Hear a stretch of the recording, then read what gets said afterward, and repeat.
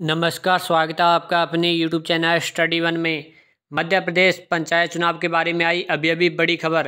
राज्य निर्वाचन आयोग का बड़ा फैसला। देखिए, पंचायत चुनाव कब होंगे, परिणाम कब जारी होंगे, देखिए पूरी जानकारी। अगर आप इसके बारे में पूरी जानकारी प्राप्त करना चाहते तो इस वीडियो को शुरू से लेकर आखिर तक पूरा देखें।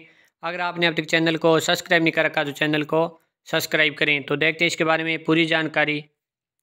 जैसा कि आप देख सकते हैं, मध्य प्रदेश में पंचायत चुनाव के परिणाम को लेकर राज्य निर्वाचन आयोग ने बड़ा फैसला लिया है। किसी भी सीट के परिणाम घोषित नहीं होंगे, चूँकि ओबीसी की सीटों पर चुनाव नहीं हो रहे। सभी सीटों के परिणाम एक साथ ही घोषित किए जाएँगे। तो आप देख सकते हैं, मध्य प्रदेश में यहाँ पर बताया गया है कि ओबीसी की सीटों पर चुनाव नहीं हो रहे।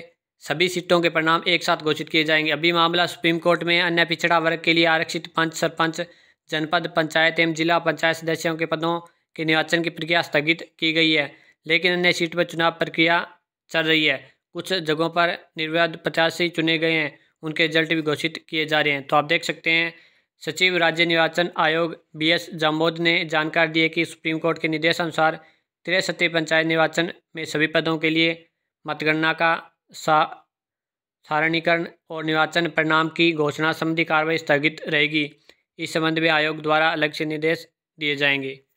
तो आप देख सकते हैं, एक बड़ी अपडेट है। मध्य प्रदेश पंचायत चुनाव को लेकर जो आपके सामने शेयर करनी थी, धन्यवाद, मिलते हैं नेक्स्ट वीडियो में।